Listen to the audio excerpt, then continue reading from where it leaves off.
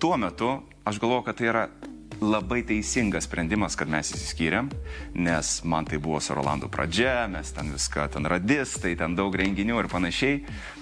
Iliuzinis Jonas buvo, kuris ten, aš jo net dabar Nepažįstu aš to Jono. nepažįstu ir man jis yra netinkamas, bet kad tai suprasti reikia, tai išgyventi. Dabar viskas laisva, dabar čia niekam nereikia jokių ataskaitų duoti.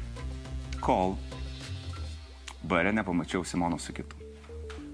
O, klasika. Buvo toks, toks kažkoks vidinis skausmas, kurio aš net negaliu, dabar atsimenu net, kaip taip gali būti.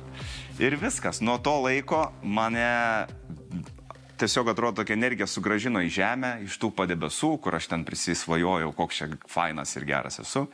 Grįžo tas Jonukas, viskas.